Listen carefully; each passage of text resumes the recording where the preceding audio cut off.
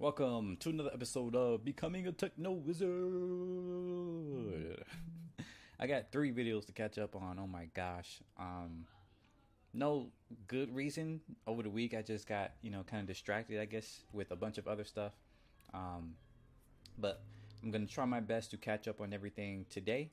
So uh, just gonna jump right into it.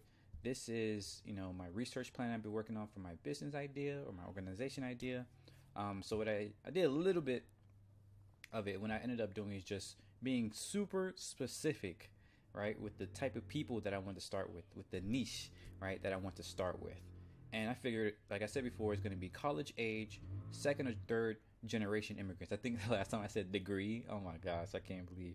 So sorry for that. What I meant is second or third generation, meaning people who's um, who were born here or who came over here at a very early age. So they basically identify mostly as American and they are native English speakers. Um, and the reason why I'm starting here is because, you know, again, they said start with the niche uh, or niche, however you want to say it.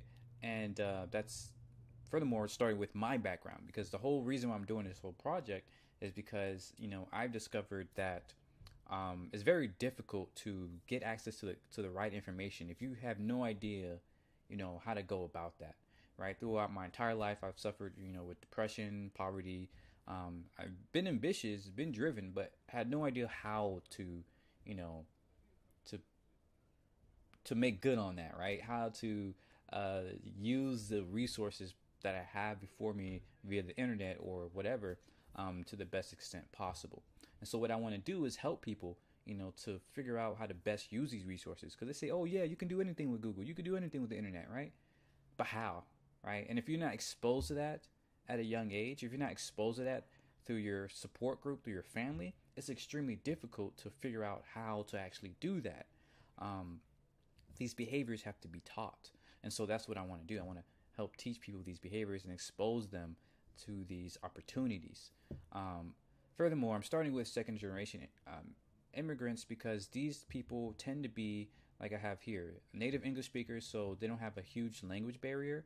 That's a huge problem for you know first generation immigrants, um, or some even some second generation immigrants who came here at a later um, day in their lives, where the language barrier is a huge you know part of the difficulties with being integrated into America and many other countries.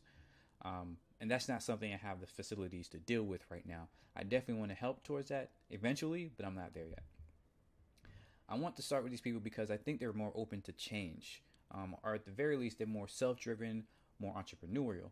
There's actually data that shows that um, a lot of immigrants, second generation, third generation immigrants, tend to be more driven um, to accomplish certain things because their parents, you know, came here for that reason, right? Very often, these people are coming from, you know, places that are that were difficult or just saw the American dream, right? It's it's a fact, uh, which is very interesting that the American dream is more um, appealing or more apparent to people who are not born in America. I've discovered that myself with my grandparents who will always be like, go to school, you know, uh, be a doctor, engineer, you know, lawyer type of thing. Like you see that all the time with uh, second, third generation immigrants, and they push you, they push you, they push you to be excellent.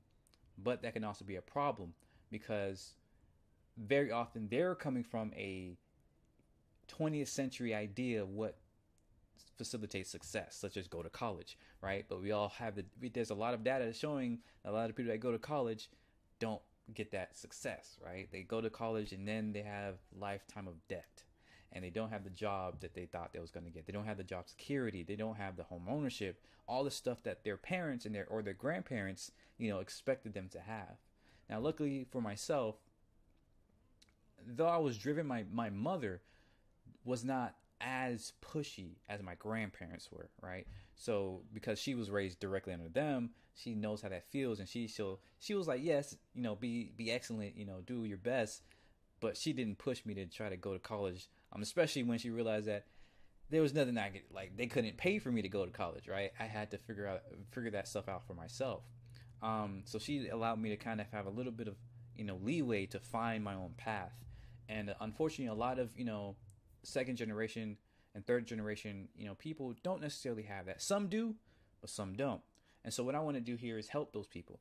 um, because either way that you follow along, whether your your parents are pushing you just as much as their grandparents pushed, um, um, or their parents pushed pushed them, or if you're like me, and your your parents were expected you know from you expected a lot from you but they didn't necessarily push you like crazy towards those traditional paths.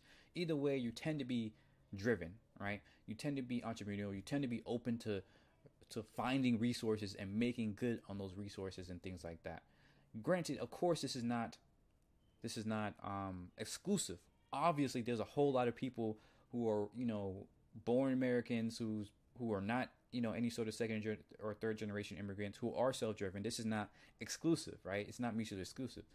It's just that i want to focus here first right? Because going into my third point um a large reason as to why you know you tend to be driven at this at this culture is, is oftentimes it's born out of fear. Is because you know your grandparents or your parents are like oh if you don't do good you're gonna go back to haiti that's where you know my folks come, or you're gonna go back to you know wherever your folks came from. So they they, they often use as a, as a threat. At the same time, they also are proud of where they came from. So, you know, oh, we don't do it. This is not how we do it in Haiti. You know, Haiti, you know, it was this, that, and the other. We had blah, this culture, this blah. You, you know, and they they try to push you to learn the language and all this other stuff. So it's it's kind of frustrating because you're you're kind of using they use that ancestry that that where you came from, where they came from as a as a kind of scare tactic at the same time as expecting you to be prideful for where you came from you know? So it's you kind of have the be- the the best of both and the worst of both at the same time. And um, I've seen that often with a lot of people not just from Haiti but from you know Trinidad from Jamaica from um, a lot of places in, uh, throughout the Caribbean um, places you know people coming from Africa and uh, people coming from India, from um, Latin America, all these other places, right? You see that all the time. So I want to speak to that. So I want to prioritize people specifically coming from Africa and the Caribbeans because that's again what I'm used to. I, I understand more about how to deal with that than somebody coming from Latin America or somebody coming from India or something like that. I know it's similar, but I can't. I don't. I don't know anything about that. I don't know as much about their culture. But from people coming from the Caribbean and Africa, I can point to okay, you you may have been taught that you know your culture, um, like coming from Haiti, for instance, that uh, learning Creole is kind of like a country thing. Um, it's better to learn French, or you're you're taught that you know voodoo's evil, demonic, and stuff like that. But I, I have learned that when you're taught like that, you kind of tend to hate yourself in a way. You, there's some sense of self hate where you begin to have your your self worth and identity skewed, right? And so that's why a lot of you know immigrants coming from these places have a lot of pride in being American, right? and uh, that that comes up with its own problems because you have this cultural erasure issue where people coming from Haiti or Africa, um, they don't realize that we actually have a lot of incredible, powerful history there, right? Like, yes, there's very there's a reason why grandparents came here is because in the current day, like in the 20th century, it's been really bad. But you know, 300, 400, you know, years ago, it was incredible. And but there's nothing there, right? Like they don't teach you about that. Most likely because your parents or your grandparents didn't know about that or because they didn't think or to, to teach you, right? They, they they thought you would just pick it up or whatever, right? And and so you kind of lose that that cultural um pride and you lose that ability to to kind of you know feel feel good about where you came from, right? about your ancestry, and and and that's its inherent um confidence problem. So I wanna I wanna do my best to kind of help people see that right? See the the the power and the the richness in that history, and that plays a long way into you know the ultimate uh, cause for all this based on uh, the hierarchy of needs, um, which is r- r- more integrated, where you have that sense of self esteem, right? That's grounded, that's founded in something. You have that sense of self worth that's founded in something deeper than just being an American or being, you know, a successful uh, professional or you know making your parents proud or making your grandparents proud right? It's it's more than that. So i want to teach people that hey you know if you're from haiti there's some really great things about the culture in which you can learn from in which you can be you know find some pride in which you can find some you know some amazing um, wisdom in. Uh, same thing for people coming from africa right? I've studied a lot of african um, cultures and, and history um, at this point, and so I would like to show people that you know, so that people can take pride in where they came from, at the same time as use that to stand out here in America, right? Uh, to start businesses or start organizations and help other people out that's that are similar to them and so on and so forth and just start the cycle and and and just push it along so that's all that is why i want to make it super specific to this specific you know group of folks and of course i i'm pretty sure a lot of this will apply to latin americans to indians to you know um, asians to you know you know even people coming from european places that they don't usually talk about so um I think that this would be a good starting point, but uh, has I have to find some starting point, and it's taken me a while to get here, but I'm glad I'm finally getting somewhere with this. So um, yeah, that's where I am right now, and um, it took a while to explain all that, but I think it was it was necessary. Um, excuse me. So what I want to do next is then get a better handle on these questions, some other questions to ask. I want to get um, some questions for the methodology. So these different things, uh, ways in which I'll ask. Actually, I'm gonna have to start with the pre-screen survey, so I need a I need a section for that.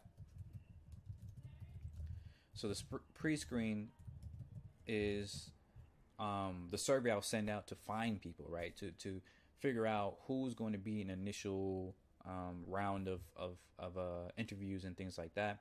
And in this survey, I'm going to have to figure out their background. I'm going to have to figure out, well, even for background, that has to be more specific. I need to figure out their um, socioeconomic status because I do want to start with people who are struggling first because they probably have less resources available to them, right? Um, and it might be hard to figure out. Like maybe this is, maybe I'll discover when I put that survey out, nobody wants to answer this question, when, which is fine. But I think I need to put it on here just because that's you know um, how I want to be specific about it. I want to figure out their ancestral or cultural background. So again, oops.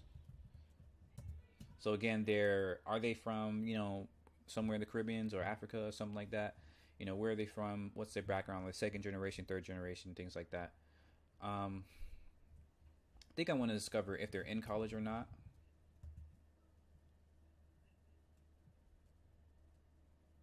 Um, so, or dropout. They dropped out of college. And again, for this, I'm not sure if I should specify, right? If they're in college or if they're out of college or if they dropped out. So I'm, I'm looking for any of them in this age. I'm not sure if I should be more specific in this age.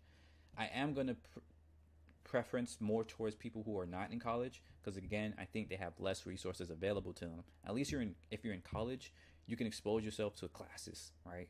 There's classes about everything nowadays. So if you're in a good college, you can go to classes for, you know, African studies, Caribbean studies, whatever.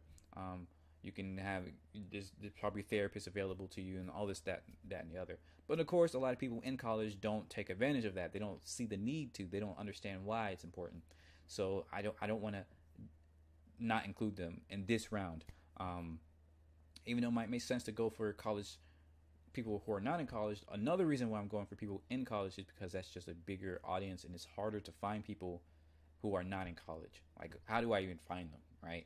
Um, I know what to start looking for for people who are in college. I, I can either start with the Discord group I'm, I'm in, or go to you know college campuses and things like that. But where do I go? You know, how do I find people who are not in college, right? I would just have to put up random Reddit boards or you know all these other stuff. It, it's going to be way more difficult than if I start with people who could be either or, right? And um, kind of refine it from there. Um, unlike with, and the reason why I separate this from ancestral, because it might be difficult to find people, right, who are second generation or third generation immigrants. Um, but again, I, at least I know where to start with this. I can go to colleges and see, you know, are these second generation, third generation. I can go to, you know, um, my school. I can go to the, the local, um, what do you call it, uh, international store or something like that, uh, which is weird, but it's it's a place I can go to find this information. Um, same thing for socioeconomic status. I can go to neighborhoods that are not doing too well, um, like the ones I came from. I know where to find these people. Um, but for college opt outs, even though I am a college opt out, it's difficult to find out exactly where. Uh, maybe I can go to programs like Year Up, but again, that's even that is is inherently biased because programs like those types of nonprofits, that means they already have resources available to them. So I, I don't know. I don't know if I should specify that more or not, but that's where I am so far.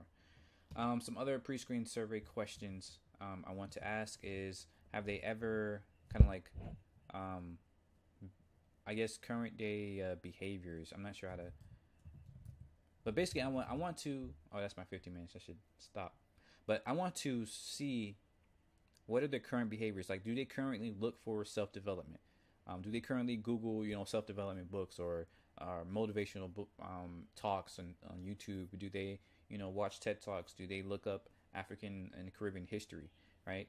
I want to f- first find people who are open to these things and then move to people who are not because obviously you can't really help people who aren't even interested in being helped so i want to start with the people who are trying to improve themselves but don't really know how to do it or have have had negative experiences doing it um, so you know we can start with people who actually want to be helped so yeah um, i'll end it there i have like two more videos to do so um, keeping it short.